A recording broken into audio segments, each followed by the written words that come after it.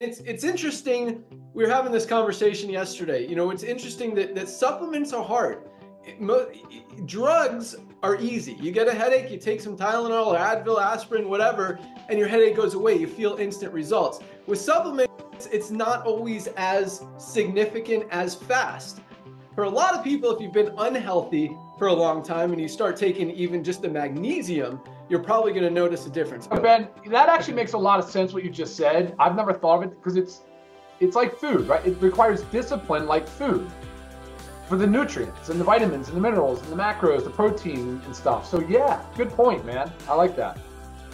Yeah, and you've got to understand that it is doing something and and you know, and that's I think the biggest challenge with supplements is that a lot of times you you don't know for sure. Like I mean, my favorite product is one that I don't even feel. I should well, I shouldn't say my favorite. My favorite is the Super Reds, but the yeah, one that you. I will not go a day without is the essential aminos. I mean, the muscle, the, the, way this protects your lean muscle mass, because it's hard to build it back once you lose it. Once we get over 30, 40, I'm 48, that lean muscle, start, it's one of the first signs of aging. It starts to go.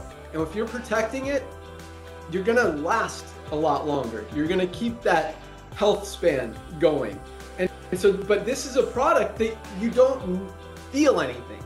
You don't know that it's doing anything, but I actually do know it's doing stuff because it, it's crazy. Like, okay, so I do CrossFit. It's uh, not really hardcore CrossFit like competitions and stuff. It's more like a boot camp. I go to the eight o'clock class. It's all moms drop off their kids at school. They come to the eight o'clock class.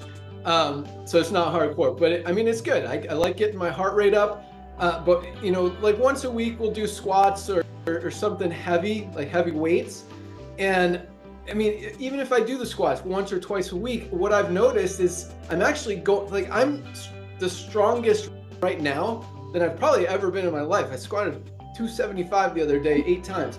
So it's uh, it's really cool what this is able to do. I don't know. I, I just point is it's hard to feel a lot of stuff, but when you know that it's working and you're getting healthier and good things are happening in your body, you know, that's and a lot of times, you know, when you stop taking it, that's when you really notice the difference. Yes. But it is yeah. cool that so but okay, back to my original point is that the reason our product sales and numbers continue to go up is because you guys are rec- I mean, people don't continue to buy products if they don't work.